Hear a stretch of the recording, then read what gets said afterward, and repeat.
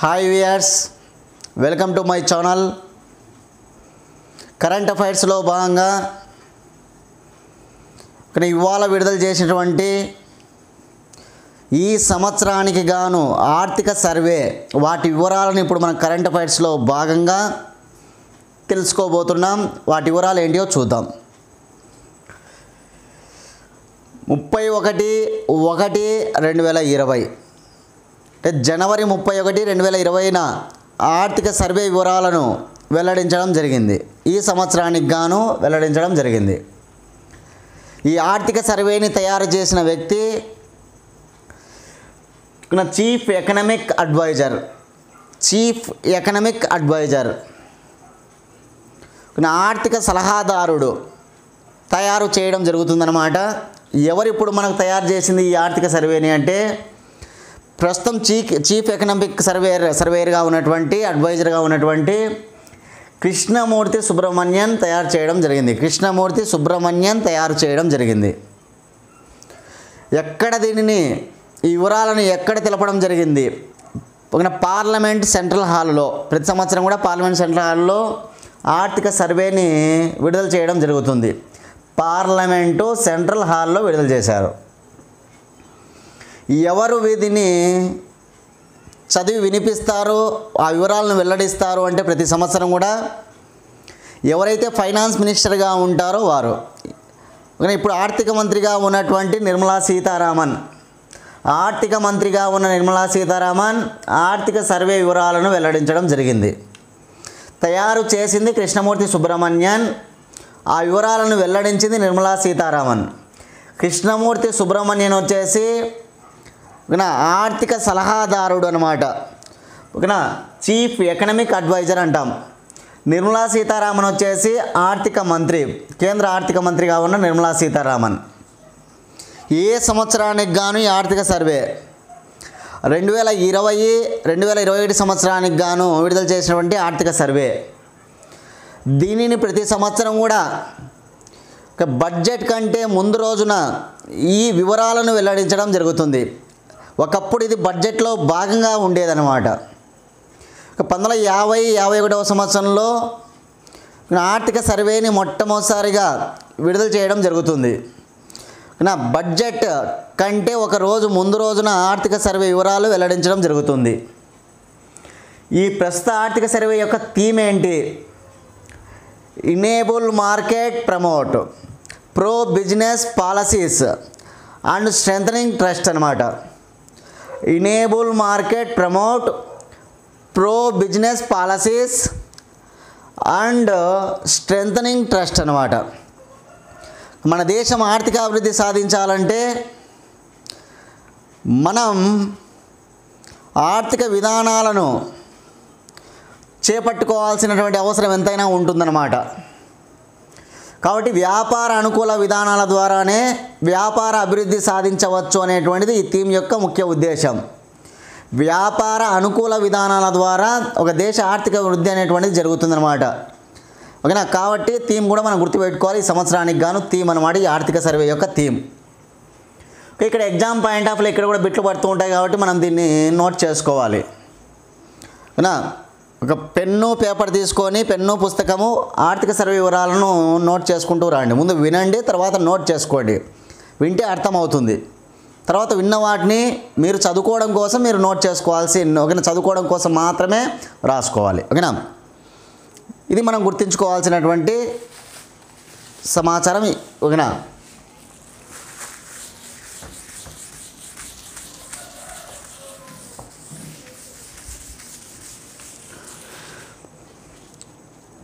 ఆర్థిక సర్వే రెండు వేల ఇరవైకి గాను ప్రకటించిన తేదీ ఏది? జనవరి ముప్పై ఒకటి రెండు వేల ఇరవై. ఈ ఆర్థిక సర్వేని తయారు చేసిన వ్యక్తి కృష్ణమూర్తి సుబ్రహ్మణ్యన్. ఎవరు కృష్ణమూర్తి సుబ్రహ్మణ్యన్? ఆర్థిక సలహాదారుడు చీఫ్ ఎకనమిక్ అడ్వైజర్ అనమాట దీన్ని విడుదల చేసింది ఎవరు? ఆర్థిక మంత్రిగా ఉన్న నిర్మలా సీతారామన్. ఏ సంవత్సరానికి గాను? రెండు వేల ఇరవై రెండు వేల ఇరవై ఒకటికి గాను. ఎక్కడ విడుదల చేసింది? పార్లమెంటు సెంట్రల్ హాల్లో విడుదల చేసింది. నా బడ్జెట్ కంటే ఒక రోజు ముందుగా ప్రతి సంవత్సరం బడ్జెట్ కంటే ఒక రోజు ముందుగా ఆర్థిక సర్వే వివరాలు వెల్లడించడం జరుగుతుందన్నమాట. అసలు ఆర్థిక సర్వే ఎందుకు ఉపయోగం? ఒక దేశ ఆర్థికాభివృద్ధిని పెంపొందించడం. దీనిలో భాగంగా ఒక మందగమనంలో ఉన్నటువంటి ఆర్థిక ఆర్థిక వ్యవస్థను ఆర్థికాభివృద్ధిని చేర్చే దిశగా ఎక్కడెక్కడ వ్యయం చేయాలా ఎక్కడెక్కడ ఖర్చు అంటే వ్యయం అంటే ఖర్చు ఎక్కడ ఖర్చు చేయాలి ఎక్కడ ఖర్చు తగ్గించాలి మన దేశ ఆర్థికాభివృద్ధి ఎలా సాధించాలి అనేటువంటి వివరాలను వెల్లడించేది ఆర్థిక సర్వే అనేటువంటిది.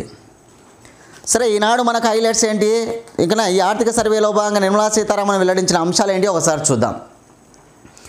ముఖ్యంగా నా ప్రస్తుతం మన దేశం మందగమనంలో ఉంది. ఓకేనా ఎలా ఉంది అనేది మనం ఒకసారి చూద్దాం ఫస్ట్. రెండు వేల పదిహేడు సారీ రెండు వేల పద్దెనిమిది రెండు వేల పంతొమ్మిది సంవత్సరానికి గాను ఓకేనా? సారీ రెండు వేల పంతొమ్మిది రెండు వేల ఇరవై సంవత్సరానికి గాను ఏడు పర్సెంట్ జీడిపి వృద్ధి రేటు నమోదవుతుందని పోయిన సంవత్సరం ఆర్థిక సర్వే అంచనా వేయడం జరిగింది. ఆర్థిక సర్వే రెండు వేల పంతొమ్మిది రెండు వేల ఇరవై సంవత్సరానికి గాను ఎంత పర్సెంట్ ఉంటుందని? ఏడు పర్సెంట్ ఉంటూ ఉంటుందని అంచనా వేయడం జరిగింది. కానీ ఏడు పర్సెంట్ అంచనాను రీచ్ అయిందా అంటే రీచ్ కాలేకపోయింది. ఇప్పుడు రెండు వేల పంతొమ్మిది రెండు వేల ఇరవై సంవత్సరానికి గాను ఐదు పర్సెంట్ జీడిపి వృద్ధి రేటు నమోదవుతుందని ఆర్థిక సర్వే వెల్లడించడం జరిగింది. ఏడు పర్సెంట్గా అంచనా వేస్తే ఇది కేవలం ఐదు పర్సెంట్కు నమోదు కావడం జరిగింది. ఇంకా పూర్తి కూడా కాలేదు ఇది ఆర్థిక సంవత్సరం. ఆర్థిక సంవత్సరం అంటే ఏప్రిల్ ఒకటితో స్టార్ట్ అవుతుంది. మార్చి ముప్పై ఒకటవ తారీఖుతో ముగుస్తుందన్నమాట. మన దేశ ఆర్థిక సంవత్సరం ఏప్రిల్ ఒకటితో ప్రారంభించబడి మార్చి ముప్పై ఒకటితో ముగిసి ముగిసిపోవడం జరుగుతుంది. ఇప్పుడు ఇంకా మనం జనవరి ముప్పై ఒకటవ తారీఖునే చెప్పుకుంటున్నాం. ఇంకా మార్చి ముప్పై ఒకటి రాలేదు. కానీ ఎంత నమోదవుతుందని ఐదు పర్సెంట్ నమోదవుతుందని చెప్పడం జరిగింది. ఈ ఆర్థిక సర్వేలో వెల్లడించడం జరిగింది. అంతేకాదు మనం చూస్తే గొప్ప గొప్ప అంతర్జాతీయ సంస్థలు ప్రపంచంలో యుఎన్ఓ ఐఎంఎఫ్ అదేవిధంగా వరల్డ్ బ్యాంక్ ఇవన్నీ కూడా మన దేశం యొక్క జీడిపి వృద్ధి రేటు ఐదు పర్సెంట్గానే చెప్పడం జరిగింది. అంటే ఐదు పర్సెంట్ కంటే ఏది ఎక్కువగా చెప్పలేదు. రెండు వేల పంతొమ్మిది రెండు వేల ఇరవై సంవత్సరానికి గాను మన జీడిపి వృద్ధి రేటు ఐదు పర్సెంట్ నమోదవుతుందనేటువంటిది ఐక్యరాజ్య సమితి కావచ్చు అంతర్జాతీయ ద్రవ్యనిధి సంస్థ ప్రపంచ బ్యాంకులు వెల్లడించడం జరిగింది. ఇక మన దేశ గణాంక సర్వే ఎన్ఎస్ఓ ఓకేనా? ఇది కూడా మనకు ఐదు పర్సెంట్ కంటే ఎక్కువ చెప్పలేదు.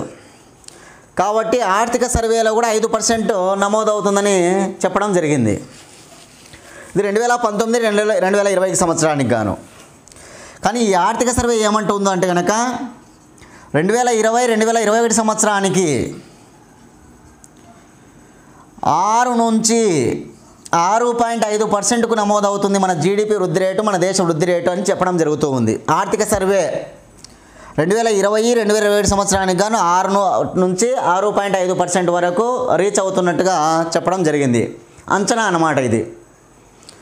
అంటే ప్రస్తుతం మందగమనంలో ఉన్న- మందగమనంలో ఉన్నటువంటి ఆర్థిక వ్యవస్థ మళ్ళీ పుంజుకుంటుంది అని ఆర్థిక సర్వే భరోసా ఇవ్వడం ఇక్కడ. భరోసా ఇవ్వడం జరిగిందనమాట ప్రస్తుతం మందగంలో ఉన్నటువంటి మన దేశ ఆర్థిక వ్యవస్థ తిరిగి మళ్ళీ పుంజుకుంటుంది అని ఆర్థిక సర్వేలో భాగంగా నిర్మలా సీతారామన్ ఒక ఒక భరోసా ఇవ్వడం జరిగింది. ఈ విషయాన్ని మనం గుర్తుంచుకోవాలి. చాలా వెరీ ఇంపార్టెంట్ జీడిపి వృద్ధి రేటు అంశంలో ఉన్నటువంటిది ఆర్థిక సర్వేలో భాగంగా చెప్పబడిన అంశాలు. సరే. ఇక మందగమనంలో ఉన్నటువంటి మన దేశ ఆర్థిక వ్యవస్థ వినా వృద్ధి సాధిస్తుంది వినా? అని ఆర్థిక సర్వే వెల్లడించినట్టుగా మనం చెప్తున్నాం. వినా? ఇది ఊరికే సాధించగలమా అంటే సాధించలేం. దీనికి సంబంధించి విస్తరణ విధానాలు అమలు చేయాలి అని ఆర్థిక సర్వే వెల్లడించడం జరిగింది. ఏ విధానాలను? విస్తరణ విధానాలను అమలు చేయాలి. మందగమనంలో ఉన్నటువంటి మన దేశ ఆర్థిక వ్యవస్థ తిరిగి వృద్ధి సాధించాలంటే ఆర్థికాభివృద్ధి సాధించాలంటే విస్తరణ విధానాలను అమలు చేయాలని ఆర్థిక సర్వే వెల్లడించడం జరిగింది. విస్తరణ విధానాలలో భాగంగా మూడు సూచనలను సూచించడం జరిగింది. మూడు సూచనలు సూచించడం జరిగింది. ఒకటి ఏంటి? మొత్తం మూడు సూచనలు సూచించడం జరిగింది. ఒకటి బడ్జెట్ లోటుపై ఉన్న పరిమితులను ఎత్తివేయాలి. ఆర్థిక సర్వే వెల్లడించిన వివరాలు ఇవన్నీ గుర్తుంచుకోవాలి. మూడు సూచనలు. ఒక సూచన ఏంటి? బడ్జెట్పై బడ్జెట్ లోటుపై ఉన్నటువంటి పరిమితులను ఎత్తివేయాలి. బడ్జెట్ లోటుపై ఉన్నటువంటి పరిమితులను ఎత్తివేయాలి. రెండు. ఆహార రాయితీల్లో కోత విధించాలి. ఆహార రాయితీల్లో కోత విధించాలి. మూడు. సంపదను ఉద్యోగాలను సృష్టించేటువంటి సంపదను ఉద్యోగాలను సృష్టించేటువంటి వ్యాపారస్తులను గౌరవించుకోవాలి. వ్యాపారస్తులను గౌరవించుకోవాలి. మందగమనంలో ఉన్న మన దేశ ఆర్థిక వ్యవస్థ అనేది వృద్ధి సాధిస్తుంది. దీనిలో భాగంగా విస్తరణ విధానాలు అమలు చేయాలి. ఇవి అమలు చేయడానికి మూడు సూచనలు చెప్పడం జరిగింది. ఆ మూడు సూచనలు ఏంటి అంటే బడ్జెట్ లోటుపై ఉన్నటువంటి పరిమితిని ఎత్తివేయాలి. ఆహార రాయితీల్లో కోత విధించాలి. మన సంపదను ఉద్యోగాలను సృష్టిస్తున్నటువంటి వ్యాపారస్తులను మనం గౌరవించుకోవాలి. ఇది నిర్మలా సీతారామన్ ఆర్థిక సర్వేలో భాగంగా వెల్లడించినటువంటి ఒక అంశం. ఓకేనా? ఇది గుర్తుంచుకోవాలి.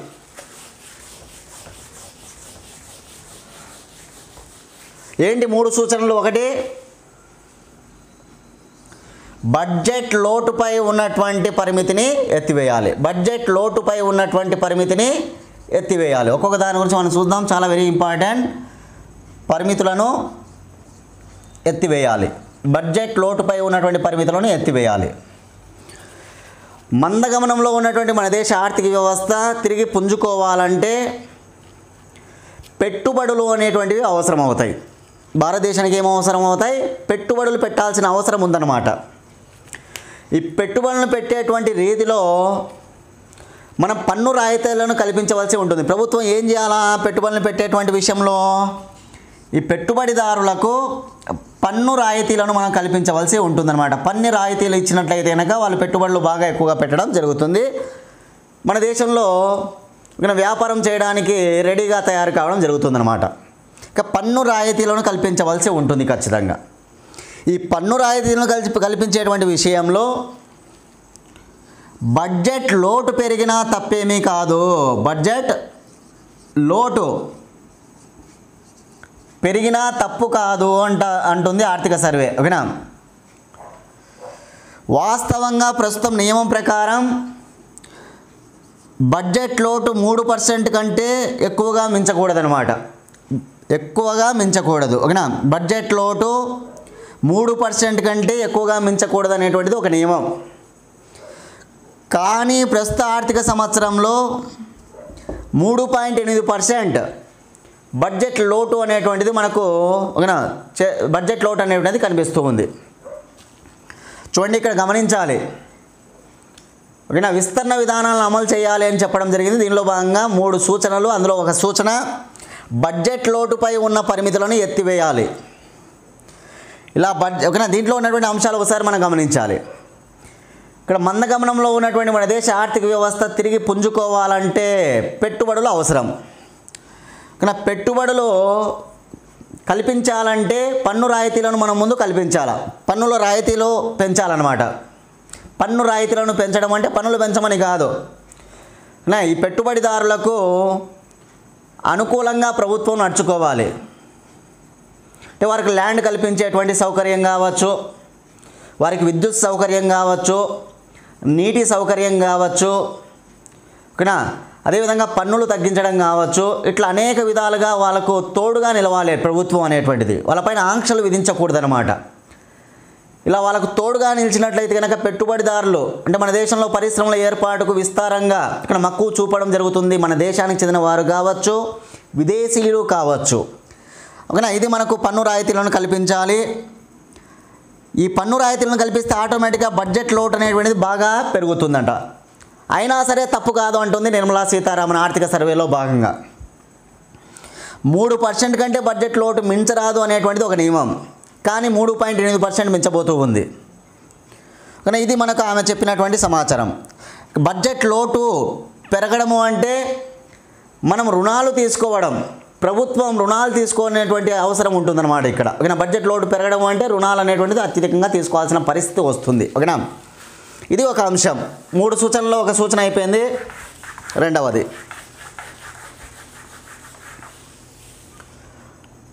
ఆహార రాయితీలో కోత విధించాల. ఆహార రాయితీల్లో ఏం విధించాలి? కోతను విధించాలి అని ఆర్థిక సర్వే వెల్లడించడం జరిగింది. ఆహార రాయితీల్లో కోత విధించాలి. ఏంటి ఆహార రాయితీ? ఇప్పుడు రాష్ట్ర ప్రభుత్వాలు కావచ్చు కేంద్ర ప్రభుత్వాలు కావచ్చు చౌక దుకాణాల ద్వారా ప్రజలకు ఓకేనా? ఇక్కడ సంక్షేమ పథకాలు అందించేటువంటి విషయం మీద కిలో బియ్యము కిలో గోధుమలు కిలో చిరుధాన్యాలు పంచదార ఇట్లాంటి రాష్ట్ర ప్రభుత్వాలు కేంద్ర ప్రభుత్వాలు చౌక దుకాణం ద్వారా అందిస్తూ ఉంటాయి. ఓకేనా? ఇక్కడ ఏం చెప్పినారంటే ఆహార రాయితీలో కోతను విధించాలి అంటుంది ఆర్థిక సర్వే. ఇప్పుడు ఫర్ ఎగ్జాంపుల్ కేంద్ర ప్రభుత్వం కిలో బియ్యం మూడు రూపాయలకు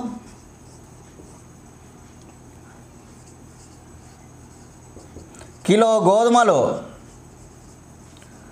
రెండు రూపాయలకు కిలో చిరుధాన్యాలు చిరుధాన్యాలు ఒక రూపాయికి చౌక దుకాణాల ద్వారా అందిస్తూ ఉన్నారనమాట చౌక దుకాణాల ద్వారా కేవలం మూడు రూపాయలకు కిలో బియ్యం రెండు రూపాయలకు కిలో గోధుమలు ఒక రూపాయికి కిలో చిరుధాన్యాలు ఇవ్వడం జరుగుతూ ఉంది. ఈ క్రమంలో వాస్తవంగా మనం చూస్తే కనుక ఇప్పుడు రైతుల యొక్క మద్దతు ధర పెరిగింది. రైతుల మద్దతు ధర పెరిగింది. ప్రయాణ ఛార్జీలు పెరిగాయి. రైతుల మద్దతు ధర పెరగడము ప్రయాణ ఛార్జీలు పెరగడం వల్ల ఇలా కేవలం కిలో బియ్యం మూడు రూపాయలకు కిలో గోధుమలు రెండు రూపాయలకు కిలో చిరుధాన్యాలు ఒక రూపాయికి ఇస్తే ఆటోమేటిక్గా మనకు ఓకేనా ప్రభుత్వానికి అది బాగా విపరీతమైన ఖర్చు అంటే వ్యయం చేసే విధంగా అవుతుందన్నమాట. అంటే ఏమి ఎక్కువైనాయి? ఇప్పుడు మనకు ప్రయాణ ఛార్జీలు విపరీతంగా అయినాయి. రైతు ధరలు పెరిగినాయి అన్నమాట ఓకేనా? రైతులకు మద్దతు ధరలు పెరిగినాయి. ఈ క్రమేణా వీటిని పెంచాల్సిన అవసరం ఉంది. ఈ మూడు రూపాయలు రెండు రూపాయలు ఒక రూపాయికి ఇస్తే ప్రభుత్వం పైన విపరీతమైనటువంటి ఖర్చు పడుతుంది. దానిలో భాగంగా మన వృద్ధి రేట్ అనేటువంటి అంటే మన భారతదేశ ఆర్థిక వ్యవస్థ అనేటువంటిది వృద్ధి అనేటువంటిది తగ్గిపోతుందన్నమాట. కాబట్టి ఇలా ఓకేనా? ఈ సర్వేలో భాగంగా ఆహార రాయితీల్లో కోతను విధించమని చెప్తుంది. కోతను విధించాలి. అంటే పూర్తిగా ఎత్తేయమని చెప్పలేదు కానీ వీటిని పెంచాల్సిన అవసరం ఉందన్నమాట. కోతను విధించాలి. ఓకేనా? ఇది మనకు ఆహార రాయితీల్లో కోతను దీనివల్ల ప్రభుత్వానికి ఓకేనా? మనం చూస్తే కనుక ఒకటి పాయింట్ ఎనభై నాలుగు లక్షల కోట్ల వ్యయం ఖర్చు అవుతూ ఉందంట ఓకేనా? ఇలా అందించడం ద్వారా సంవత్సరానికి ఒకటి పాయింట్ ఎనభై నాలుగు లక్షల కోట్ల ఖర్చు అవుతూ ఉంది కాబట్టి ఇదంతా కూడా ప్రభుత్వానికి ఓకేనా? అదనపు భారమే అన్నమాట. కాబట్టి కొద్దిగా కోతను విధించినట్లయితే కనుక మన ఆర్థిక ఆర్థికాభివృద్ధి పెరుగుతుంది అని ఆర్థిక సర్వే వెల్లడించడం జరుగుతుంది. ఇది రెండవ సూచన. మూడవ సూచన చాలా వెరీ ఇంపార్టెంట్ అంశం.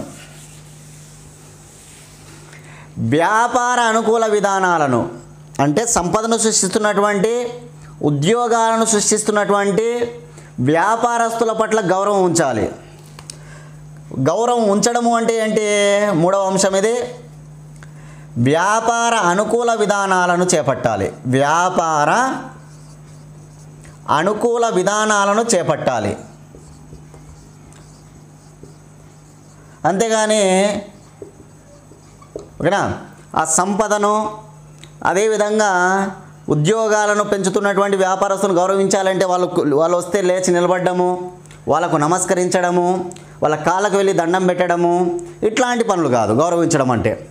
వ్యాపార అనుకూల విధానాలను చేపడితే వాళ్ళని గౌరవించినట్టు మనం లెక్క. వ్యాపార అనుకూల విధానాలను చేపట్టాలి ఓకేనా? ఫర్ ఎగ్జాంపుల్ రెండు వేల ఇరవై ఐదు కల్లా ఐదు లక్షల సారీ ఐదు ట్రిలియన్ డాలర్ల ఆర్థిక వ్యవస్థగా చేరాలనేది భారతదేశ లక్ష్యం. రెండు వేల ఇరవై ఐదు సంవత్సరం నాటికి ఐదు ట్రిలియన్ డాలర్ల ఆర్థిక వ్యవస్థగా భారత్ను చేర్చాలన్నటువంటి లక్ష్యంతో భారతదేశం ముందుకు పోతూ ఉంది. అంటే దాదాపు ట్రిలియన్ డాలర్స్ అంటే కనుక ఐదు ట్రిలియన్ డాలర్స్ అంటే మూడు వందల నలభై లక్షల కోట్ల ఆర్థిక వ్యవస్థగా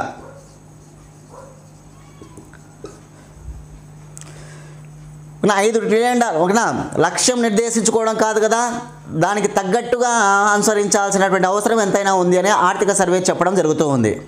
ఏంటి అంటే ఇలా ఐదు ట్రిలియన్ డాలర్ల ఆర్థిక వ్యవస్థకు చేరాలంటే ముఖ్యంగా సంపద సృష్టి అవసరం.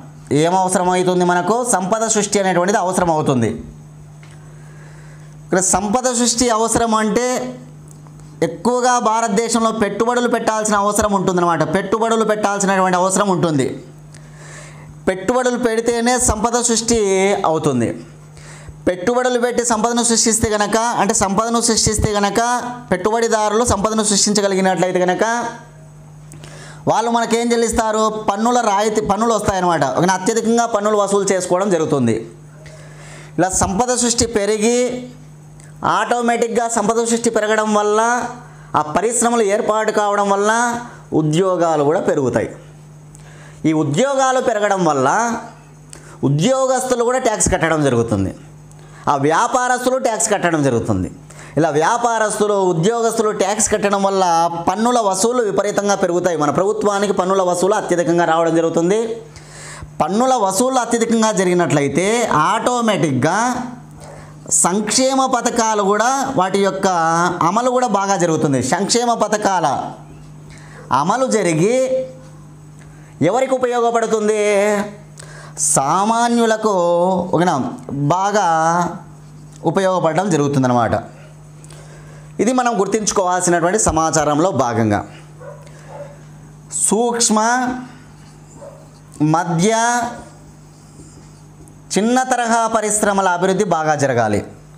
ఇలా మనం బాగా రీచ్ కావాలంటే ఐదు ట్రిలియన్ డాలర్ల ఆర్థిక వ్యవస్థగా మనం రీచ్ కావాలంటే సూక్ష్మ మధ్య చిన్న.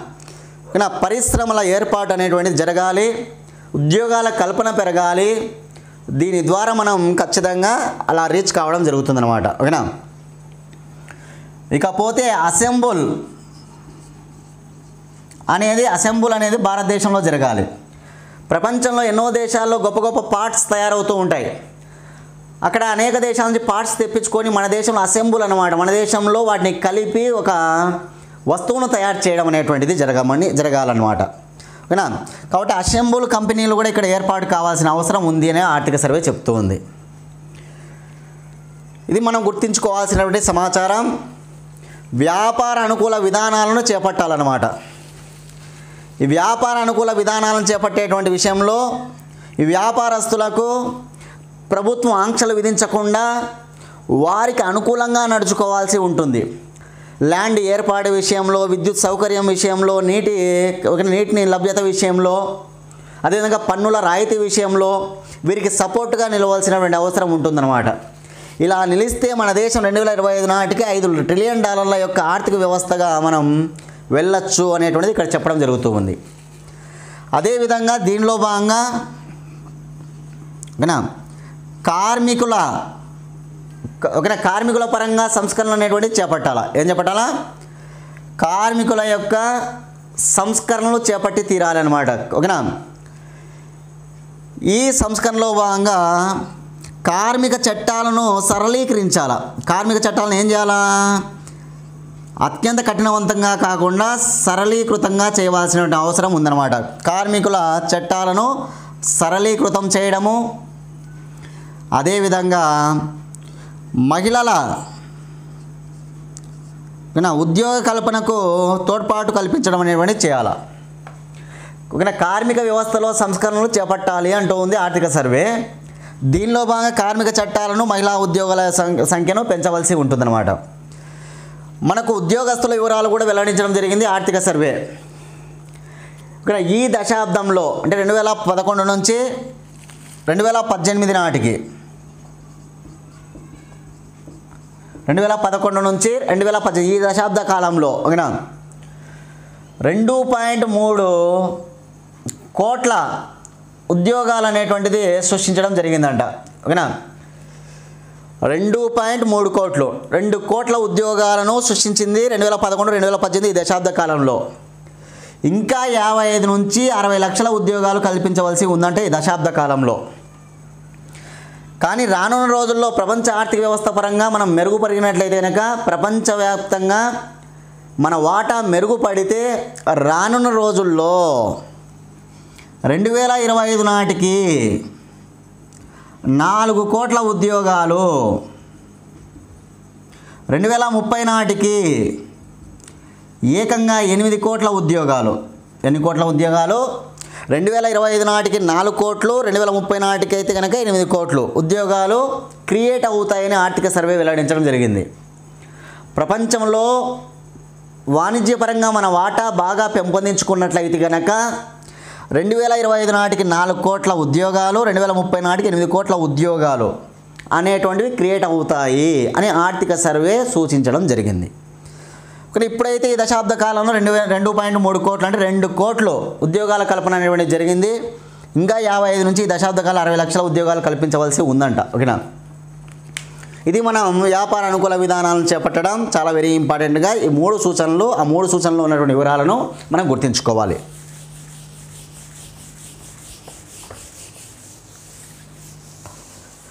దీనిలో భాగంగా ఏం చెప్పిన వ్యాపార అనుకూల విధానం చేపట్టాలి. అంటే ఏంటి అర్థం? ముఖ్యంగా సంపదను సృష్టించాలి. సంపదను సృష్టిస్తే కనుక ఆటోమేటిక్గా పన్నుల వసూలు విపరీతంగా పెరిగి ఆ వసూళ్ళ కారణం చేత సంక్షేమ పథకాలు అమలు జరిగి సామాన్యులకు ఎంతో మేలు జరుగుతుందన్నమాట. ఈ క్రమంలో భాగంగా వ్యాపార అనుకూల విధానాలను చేపట్టి కార్మిక సంస్కరణలు చేపట్టి ఆ కార్మిక సంస్కరణలో భాగంగా ఆ కార్మిక చట్టాలను బాగా సరళీకృతం చేసి మహిళల యొక్క ఉద్యోగ శాతాన్ని బాగా పెంపొందింపజేయడం చేయాలన్నమాట. ఎయిట్ పర్సెంట్ కూడా ఇటీవల పెరిగింది. ఇక గతంతో పోలిస్తే ఇప్పుడు రెండు వేల పదకొండు పద్దెనిమిది సంవత్సరాల మధ్యలో ఎనిమిది పర్సెంట్ మహిళా ఉద్యోగుల శాతం కూడా పెరిగినట్టుగా ఆర్థిక సర్వే చెప్పడం జరిగింది. ఓకేనా? కానీ రెండు వేల ఇరవై ఐదు నాటికి నాలుగు కోట్ల ఉద్యోగాలు రెండు వేల ముప్పై నాటికి ఎనిమిది కోట్ల ఉద్యోగాలు గుర్తుంచుకోవాలి. నాలుగు కోట్లు ఎనిమిది కోట్లు. ఓకేనా? ఉద్యోగాలు క్రియేట్ అవుతాయి. ప్రపంచపరంగా మనం బాగా మన యొక్క వాణిజ్యాన్ని పెంపొందించుకున్నట్లయితే కనుక ఓకేనా?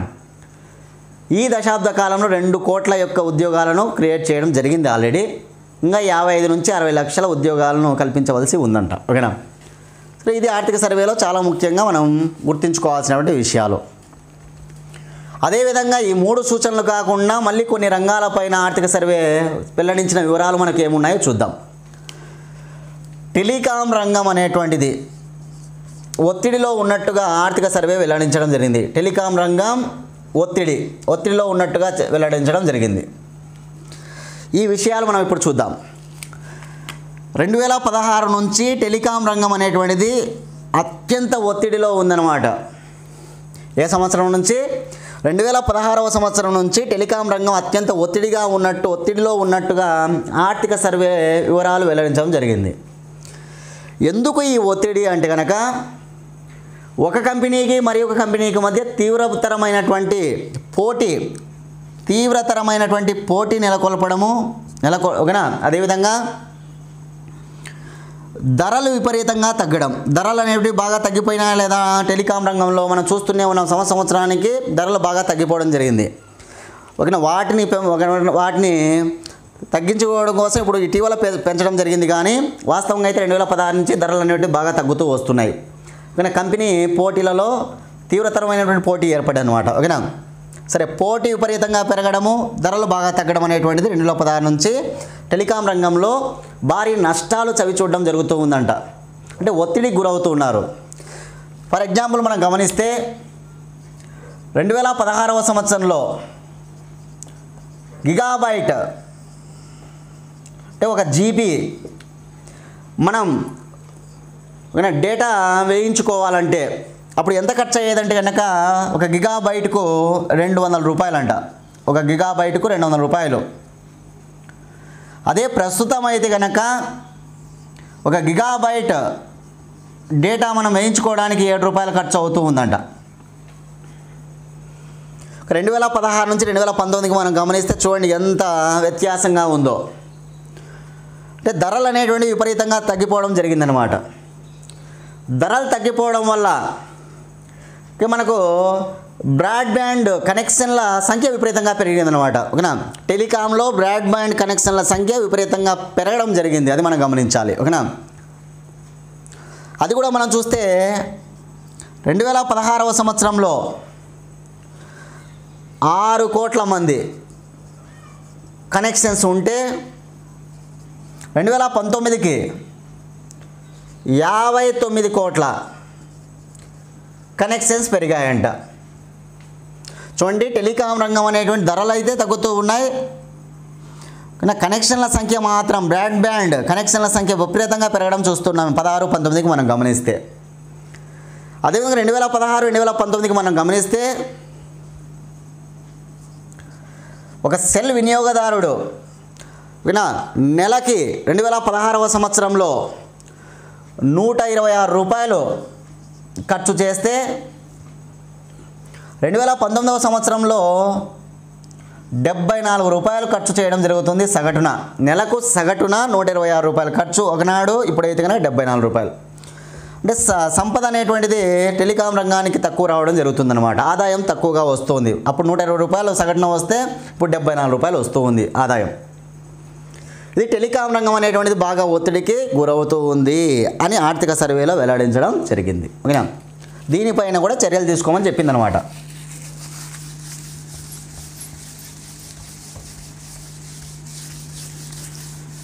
అదేవిధంగా మరొక అంశాన్ని కూడా ఆర్థిక సర్వే వెల్లడించింది. ఆ అంశం ఏంటి? అంటే మనం రైతుల రుణమాఫీ వల్ల ఎటువంటి మార్పు రాలేదు. రైతుల రుణమాఫీల వల్ల రైతుల జీవితాల్లో ఎటువంటి మార్పులు రాలేదు. రైతుల జీవితాల్లో ఎటువంటి మార్పు రాలేదంట. మనం చూస్తూనే ఉన్నాం రాష్ట్ర ప్రభుత్వాలు కేంద్ర ప్రభుత్వాలు.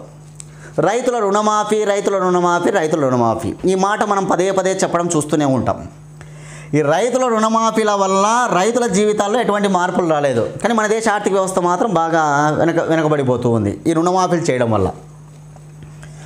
రైతుల రుణమాఫీ మనం చూస్తే రెండు వేల ఎనిమిదవ సంవత్సరంలో ఆంధ్రప్రదేశ్ సారీ కేంద్ర ప్రభుత్వం ఆనాటి కేంద్ర ప్రభుత్వం ఓకేనా? బడ్జెట్లో ఆరు పర్సెంట్ నిధులు కేటాయించడం జరిగింది. రెండు వేల పద్నాలుగులో చూస్తే మన రాష్ట్ర ప్రభుత్వం ఆంధ్రప్రదేశ్ రాష్ట్ర ప్రభుత్వం బడ్జెట్లో ఇరవై ఒక పర్సెంట్ వాటా కల్పించింది. ఇదే రెండు వేల పద్నాలుగులో తెలంగాణ రాష్ట్ర ప్రభుత్వం తెలంగాణ రాష్ట్ర ప్రభుత్వం అయితే పదమూడు పర్సెంట్ నిధులు కేటాయించింది బడ్జెట్లో. ఇట్లా రాష్ట్ర ప్రభుత్వాలు కేంద్ర ప్రభుత్వాలు బడ్జెట్లో నిధులు కేటాయించడం జరుగుతూ ఉంది. కానీ రైతుల రుణమాఫీల వల్ల రైతుల జీవితాల్లో ఏమైనా మార్పు వచ్చిందా అంటే ఎటువంటి మార్పు రాలేదు అని ఆర్థిక సర్వే వెల్లడిస్తూ ఉంది. ప్రభుత్వానికి మాత్రం విపరీతమైనటువంటి వ్యయం అవుతూ ఉందన్నమాట. ఒక అదనపు భారం పడుతూ ఉంది. ఆర్థికాభివృద్ధి దిశలో నడవడానికి ఇది కూడా ఒక ముందుకు పోనీయకుండా చేస్తూ ఉందన్నమాట. ఇది మనకు వెల్లడించడం జరిగింది. గుర్తుంచుకోవాలి. వెరీ ఇంపార్టెంట్ అంశం.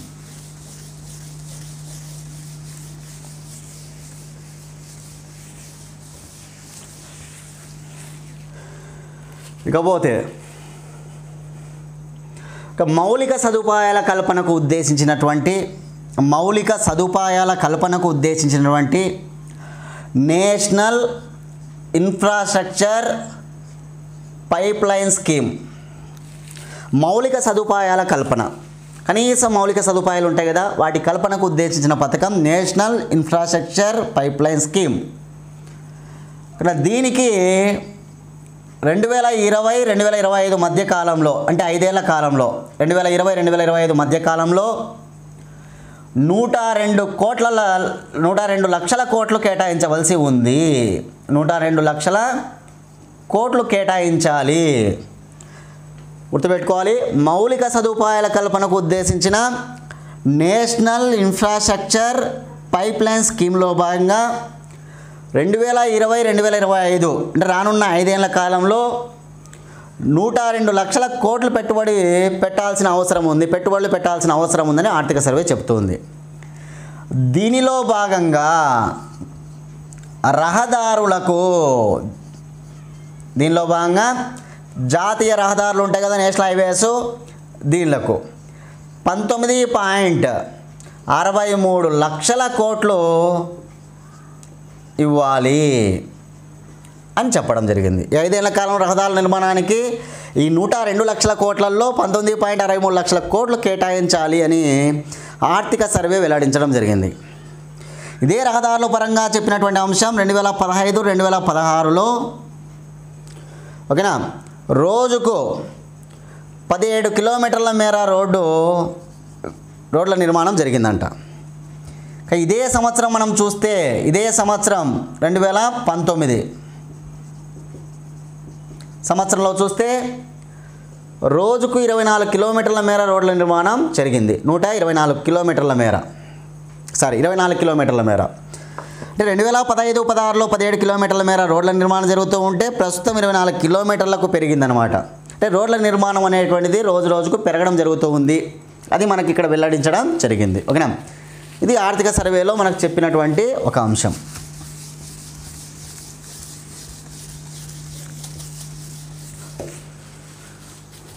అదేవిధంగా ఆర్థిక సర్వేలో వెల్లడించిన మరొక అంశం స్వచ్ఛ భారత్.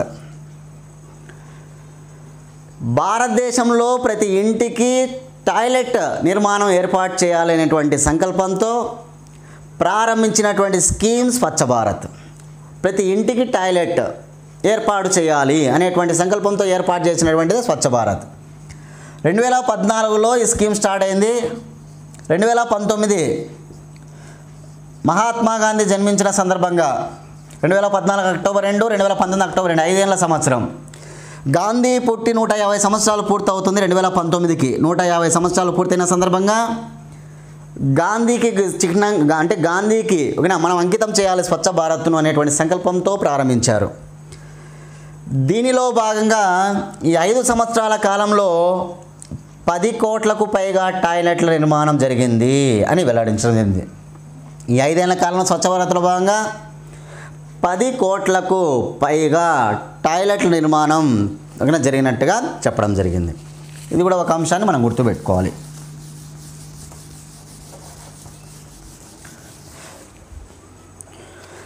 అదేవిధంగా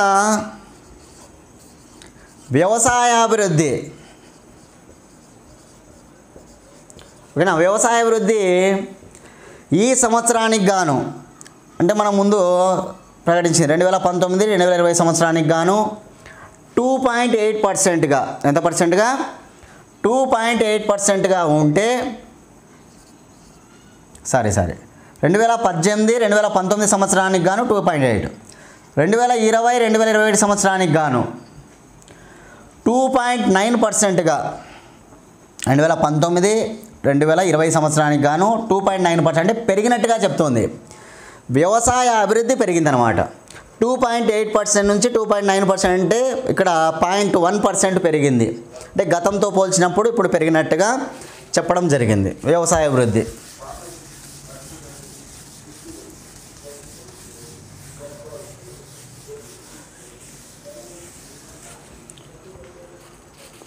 అదేవిధంగా భోజనాల విషయంలో భారతదేశంలో ప్రజలకు ఎటువంటి ఇబ్బంది లేదు. ఏ విషయంలో? భోజనాల విషయంలో భారతదేశంలో ఎటువంటి ఇబ్బంది లేదు. జనాలకు భోజనాలు ఎటువంటి ఇబ్బంది లేనట్టుగా చెప్పింది. దీన్ని పరిశీలిస్తే రెండు వేల పదహారు రెండు వేల పంతొమ్మిది. రెండు వేల పదహారు రెండు వేల పంతొమ్మిది. ఇక్కడ ఈ ఇక్కడ ఇరవై తొమ్మిది పర్సెంట్ మేర శాకాహారాన్ని తీసుకునేటువంటి విషయంలో మనం చూస్తే ఓకేనా? ఒక శాకాహారాన్ని భుజించేటువంటి వారి విషయం పైన మనం గమనిస్తే ప్రజలలో రెండు వేల పంతొమ్మిది నాటికి ఇరవై తొమ్మిది పర్సెంట్ మేర పెరిగిందంట ఓకేనా? ఆ పర్సెంట్ ఎంత పెరిగిందంటే ఇరవై తొమ్మిది పర్సెంట్ మేర పెరగడం జరిగింది. ఇక మాంసాహారాన్ని భుజించేటువంటి వారి రీత్యా చూస్తే పద్దెనిమిది పర్సెంట్ మేర పెరిగింది. అంటే విపరీతంగా మనకు పెరగడం జరుగుతూ ఉంది గమనించాలి. రెండు వేల పదహారుకు రెండు వేల పంతొమ్మిదికి మనం కంపేర్ చేసినట్లయితే కనుక శాకాహార భోజనాన్ని తీసుకునేటువంటి వారి శాతం ఇరవై తొమ్మిది పర్సెంట్ మేర పెరిగితే మాంసాహారాన్ని తీసుకునేటువంటి వారి శాతం పద్దెనిమిది పర్సెంట్ మేర పెరిగినట్టుగా అక్కడ మనకు సూచించడం జరిగింది. అదేవిధంగా ఈ ఐదేళ్ళ కాలంలో పదివేల ఎనిమిది వందల ఎనభై ఏడు రూపాయల లబ్ధి సగటున చేకూరినట్టుగా అంటే శాకాహారం అంటే కుటుంబంలో కనీసం ఐదు మంది ఉండ ఉంట ఉంటారు అనుకుందాం ఓకేనా ఐదు మంది కుటుంబ సభ్యులు ఉన్నటువంటి చోట ఈ ఐదేళ్ళ కాలంలో శాకాహారాన్ని తీసుకున్నట్లయితే కనుక పదివేల ఎనిమిది వందల ఎనభై ఏడు రూపాయల లబ్ధి చేకూరింది సగటున. ఇక మాంసాహారాన్ని తీసుకున్న వాళ్ళల్లో పదకొండు వేల ఏడు వందల ఎనభై ఏడు రూపాయల లబ్ధి చేకూరినట్టుగా ఓకేనా ఆర్థిక సర్వే వెల్లడించడం జరిగింది. ఈ ఐదేళ్ళ కాలంలో లబ్ధి అనమాట ఓకేనా పదివేల ఎనిమిది వందల ఎనభై ఏడు రూపాయలు శాకాహార కుటుంబం పదకొండు వేల ఏడు వందల ఎనభై ఏడు మాంసాహార కుటుంబం. ఐదుగురు సభ్యులు ఉన్నటువంటి కుటుంబం. ఇది కూడా మనకు వెల్లడించినటువంటి అంశం. మరొక అంశం. రెండు వేల ఇరవై రెండు నాటికి అందరికీ ఇల్లు. రెండు వేల ఇరవై నాటికి అందరికీ ఇల్లు. అందరికీ ఇల్లు అనేటువంటి లక్ష్యంతో కూడా మన భారతదేశం అనేటువంటిది ఉంది. దీనిలో భాగంగా రెండు వేల ఇరవై రెండు నాటికి మనం గమనిస్తే ప్రధానమంత్రి ఆవాస్ యోజన అర్బన్ అర్బన్ అంటే పట్టణం. ప్రధానమంత్రి ఆవాస్ యోజన ఓకేనా? దీనిలో భాగంగా మనం గమనిస్తే ఒకటి పాయింట్ మూడు ఒక కోటి ఇళ్ళను అనమాట ఓకేనా? One one point zero three కోట్ల ఇళ్ళను నిర్మించవలసి ఉంది. గుర్తుపెట్టుకోవాలి. ప్రధానమంత్రి ఆవాస్ యోజనలో భాగంగా అర్బన్ అంటే పట్టణాల్లో అనమాట ఒకటి పాయింట్ మూడు కోట్ల నిర్మాణ ఇళ్ళను చేపట్టాలి. దీనిలో భాగంగా అరవై లక్షల ఇల్లు ఇప్పుడు దీని యొక్క పనులు స్టార్ట్ అయినాయి అన్నమాట ముప్పై రెండు ముప్పై రెండు లక్షల ఇల్లును చే కట్టించి లబ్ధిదారులకు ఆల్రెడీ ఇచ్చేయడం జరిగింది. ముప్పై రెండు లక్షల ఇళ్ళను లబ్ధిదారులకు అందజేయడం జరిగింది. అరవై లక్షల ఇళ్ళ నిర్మాణాలను చేపట్టడం జరిగింది. ఒకటి పాయింట్ సున్నా మూడు కోట్ల ఇళ్ళను నిర్మించవలసి ఉంది. అందులో ముప్పై రెండు లక్షల మందికి ఆల్రెడీ ఇల్లు ఇవ్వడం జరిగిందనమాట అరవై లక్షల ఇళ్ళ నిర్మాణాలను చేపట్టడం ఆల్రెడీ జరుగుతూ ఉందన్నమాట. కన్స్ట్రక్షన్స్ అన్నీ కూడా అక్కడ జరుగుతూ ఉన్నాయి. ఇది అర్బన్లో భాగంగా. ప్రధానమంత్రి ఆవాస్ యోజన. ఇక్కడ రూరల్. రూరల్ పరంగా మనం తీసుకుంటే. ఓకేనా? అంటే గ్రామీణ నేపథ్యంలో ఇళ్ళ నిర్మాణం చూసుకుంటే కనుక ఆల్రెడీ నలభై ఏడు లక్షల ఇళ్ళను కట్టించినట్టుగా చెప్పడం జరిగింది. ఫార్టీ సెవెన్ నలభై ఏడు లక్షల ఇళ్ళను నిర్మించినట్టుగా చెప్పడం జరిగింది. దీనిని కూడా ఈ అంశాన్ని కూడా మనం ఒకసారి నోట్ చేసుకోవాలి. ఓకేనా? అందరికీ ఇల్లు అనేటువంటి ఉద్దేశంతో ఆ లక్ష్యంతో రెండు వేల ఇరవై రెండు నాటికి ప్రధానమంత్రి ఆవాస్ యోజన అర్బన్ కింద ఒకటి పాయింట్ సున్నా మూడు కోట్ల ఇళ్ళ నిర్మాణాన్ని చేపట్టవలసి ఉండగా ముప్పై రెండు లక్షల ఇళ్ళను ఆల్రెడీ లబ్ధిదారులకు అందజేయడం జరిగింది. అరవై లక్షల ఇళ్ళను ఆల్రెడీ కన్స్ట్రక్షన్లో మనకు కనిపిస్తూ ఉన్నాయి. రూరల్లో భాగంగా నలభై ఏడు లక్షల ఇళ్ళ నిర్మాణాలు చేపట్టడం జరిగింది. ఇది మనం గుర్తుపెట్టుకోవాల్సిన అంశం. నెక్స్ట్. చాలా వెరీ ఇంపార్టెంట్గా ఆర్థిక సర్వేలో భాగంగా వెల్లడించిన మరొక మరొక అంశం.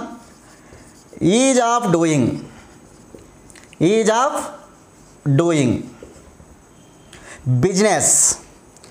కానీ బిజినెస్ను ప్రతి సంవత్సరం ప్రపంచ బ్యాంకు ఒక నివేదికను వెల్లడించడం జరుగుతుంది అన్నమాట ఒక సంస్థ గొప్పది కదా ప్రపంచంలో ప్రపంచ బ్యాంక్ అంటే. వాషింగ్టన్ను కేంద్రంగా చేసుకొని ఉన్నటువంటిదే ప్రపంచ బ్యాంకు వాషింగ్టన్ డీసీలో ఉంటుంది. ఇది ఈజ్ ఆఫ్ డూయింగ్ బిజినెస్ నివేదికను అందజేస్తుంది అనమాట దీనిలో భాగంగా మనం చూస్తే రెండు వేల పద్నాలుగులో మనం నూట నలభై రెండవ స్థానంలో ఉండేవాళ్ళం. నూట నలభై రెండవ స్థానం. అదే రెండు వేల పంతొమ్మిది సంవత్సరానికి వస్తే కనుక అరవై మూడవ స్థానంలో నిలిచాం మనం. అరవై మూడవ స్థానంలో నిలిచాం. అంటే నూట నలభై రెండవ స్థానం నుంచి అరవై మూడవ స్థానం అంటే కనుక దాదాపు కదా మనకు చాలా వ్యత్యాసం మనకు కనిపిస్తూ ఉంది. అంటే ఈజ్ ఆఫ్ డూయింగ్ బిజినెస్లో మన దేశం రోజు రోజుకు రోజు రోజుకు మనం మెరుగుపడుతూ ఉన్నాం అనేది ఇక్కడ మనం ఆలోచించాలి.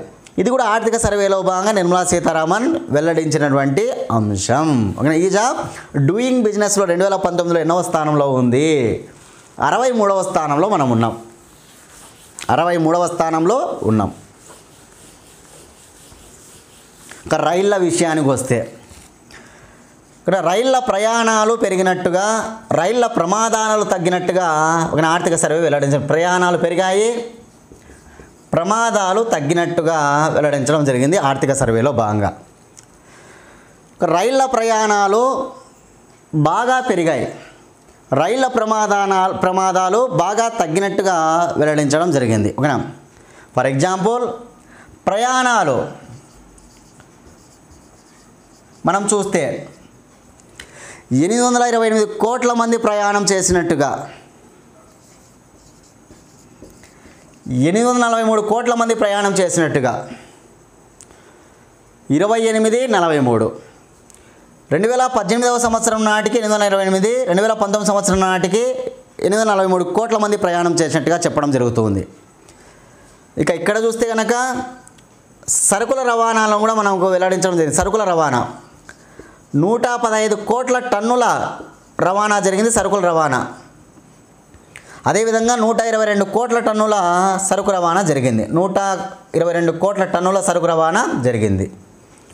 ఇక ప్రమాదాలు డెబ్బై మూడు ప్రమాదాలు ఉంటే యాభై తొమ్మిది ప్రమాదాలు అంటే తగ్గడం జరిగింది. ప్రమాదాల సంఖ్య చూస్తే కనుక రెండు వేల పద్దెనిమిదిలో డెబ్బై మూడు ప్రమాదాలు రెండు వేల పంతొమ్మిదిలో యాభై తొమ్మిది ప్రమాదాలు అనమాట ఈ సంవత్సరానికి గాను ఈ నివేదికలో మనకి ఎంత అంటే కనుక అనేది మనం తర్వాత చూద్దాం. ఓకేనా?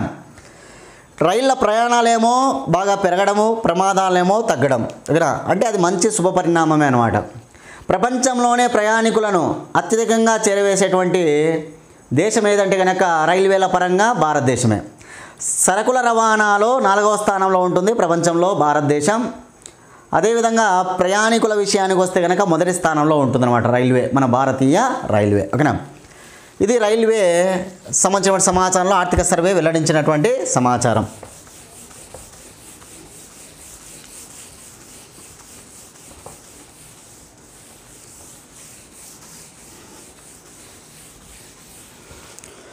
ఇవి చాలా ముఖ్యంగా మనకు ఓకేనా ఈ ఆర్థిక సర్వేలో భాగంగా వెల్లడించినటువంటి అంశాలు.